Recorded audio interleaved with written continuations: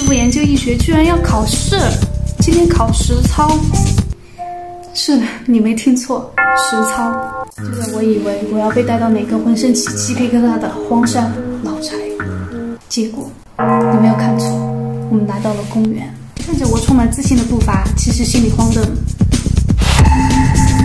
哇，好大的反供水！于是我师傅说说今天的考核项目：论管道效应环境下风速缓急对人体的健康影响。哈？于是我使出毕生绝学，说说我的观点：进水吧，拉围墙，换个电风扇。看到我师傅攥紧的拳头，我仿佛看到了我回家的场景。师傅恨铁不成钢的拉到我这个地方，问我这像什么？